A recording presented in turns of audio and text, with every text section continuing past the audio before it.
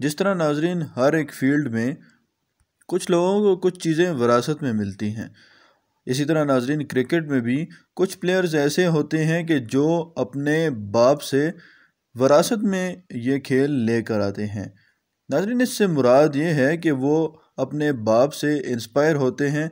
उनका बचपन भी अपने बाप को क्रिकेट खेलते हुए गुजरता है और इसी तरह से वो आगे भी, ख़ुद भी क्रिकेट खेलते खेलते सारी ज़िंदगी गुजार देते हैं। आज की इस वीडियो में नाजरीन, हम आपको कुछ ऐसे लेजेंड क्रिकेटर्स के बारे में बताने जा रहे हैं कि जिनके बाप और बेटा दोनों नाजरीन, जी हाँ नाजरीन, जिनका बाप भी क्रिकेटर था और उनके बेटे भी आगे क्रिकेट में काफ़ी नाम कमा चुके हैं और उनको ये खेल वरासत में मिला। तो आइए नाजरीन वीडियो का आगाज़ करते हैं। Geoff Marsh. नाजरीन, ऑस्ट्रेलवी क्रिकेटर जेफ मार्श ऑस्ट्रेलिया की तरफ़ से 50 टेस्ट मैचेस और अभी तक तकरीबन 170 के करीब ओडीआई मैचेस खेल चुके हैं।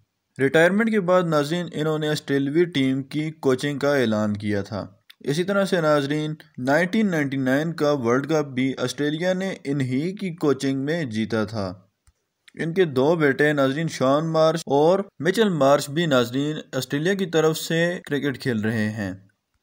नाजरीन शॉन मार्श ओपनिंग करने वाले एग्रेसिव बैट्समैन हैं और अपने डेस्क डेब्यू में श्रीलंका के खिलाफ हंड्रेड भी बना चुके हैं। नाजरीन, मिचल मार्श ऑलराउंडर हैं और ऑस्ट्रेलिया की तरफ़ से तीनों फॉर्मेट्स में रेगुलर खेल रहे हैं। ये नाजरीन अभी तक 90 प्लस मैचेस खेल चुके हैं और ऑस्ट्रेलिया के की प्लेयर माने जाते हैं। Peter Pollock and Shaun Pollock. Shaun Pollock के बारे में नाजरीन, हम कह सकते हैं कि शॉन पॉल्क साउथ अफ्रीकी टीम के एक लेजेंड प्लेयर थे। क्योंकि क्रिकेट नाजरीन इनके खून में शामिल थी। ये साउथ अफ्रीका के नाजरीन एक बेहतरीन ऑलराउंडर थे। इनके दौर में नाजरीन अफ्रीकी बॉलिंग सब टीम्स के लिए बहुत ख़तरनाक मानी जाती थी। इनके फादर भी नाजरीन पीटर पॉल्क भी दुनिया में साउथ अफ्रीकन टीम की तरफ़ से फास्ट बॉलर खेला करते थे। पीटर पॉल्क भी नाजरीन साउथ अफ्रीका की तरफ़ से काफ़ी क्रिकेट खेल चुके हैं। लेकिन नाजरीन जो शोहरत शॉन पॉल्क ने हासिल की वो फैमिली में नाजरीन किसी और को नहीं मिल सकी। हालाँकि देखा जाए तो नाजरीन इनके अंकल भी एक बेहतरीन खिलाड़ी माने जाते थे। Chris Broad and Stuart Broad.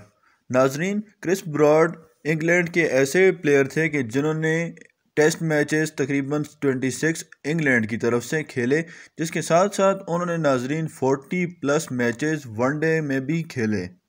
England के फास्ट बॉलर स्टॉर्ट ब्रॉड के फादर हैं। स्टॉर्ट ब्रॉड नाजरीन टी ट्वेंटी में इंग्लैंड टीम को लीड भी कर चुके हैं और इसी के साथ साथ वह इंग्लैंड टीम के एक प्रीमियर बॉलर की हैसियत से भी जाने जाते रहे हैं।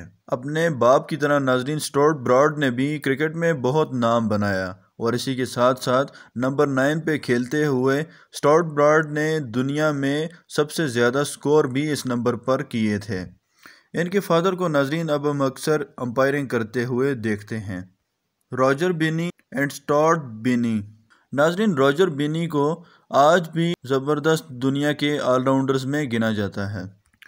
नाजरीन, रॉजर बिनी वर्ल्ड कप 1983 के हाईएस्ट विकेट टेकर भी रह चुके हैं। इनके बेटे नाजरीन स्टोर्ट बिनी भी इंडिया की तरफ़ से खेल रहे हैं।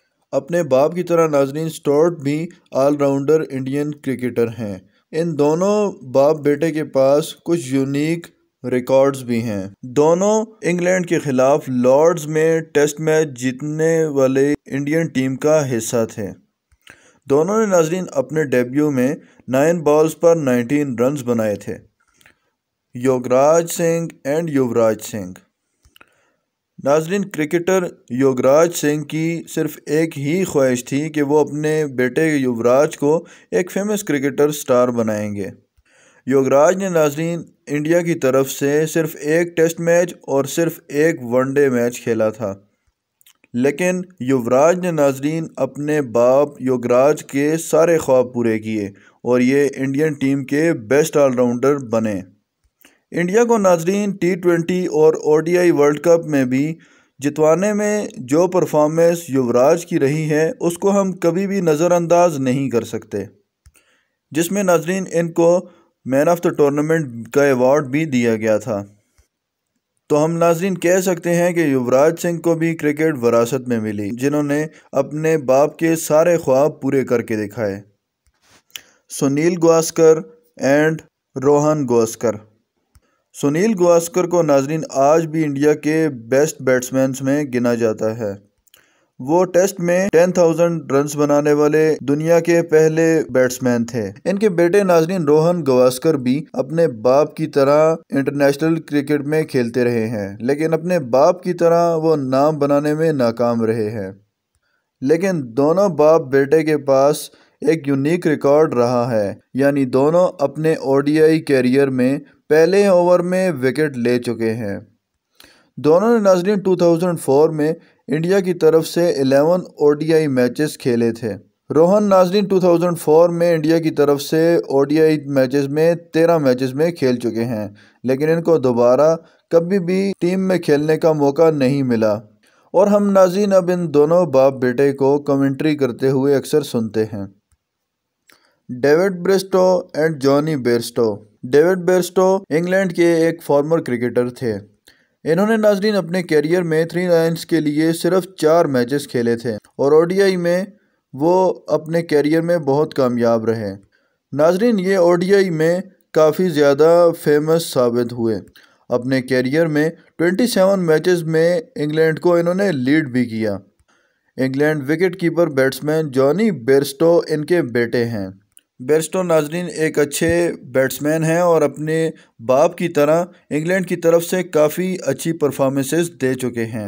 इस वक्त भी वो नाजरीन इंग्लैंड टीम की तरफ़ से एक अच्छे कीपर और एक अच्छे बल्लेबाज के तौर पर जाने जाते हैं। Mitchell Stewart and Alice Stewart. नाजरीन, मिचल स्टीवर्ट भी एक फॉर्मर इंग्लैंड क्रिकेटर थे। ये नाजरीन इंग्लैंड की तरफ़ से आठ टेस्ट मैचेस खेल चुके हैं, लेकिन इनका फ़र्स्ट क्लास कैरियर काफ़ी सक्सेसफुल रहा है।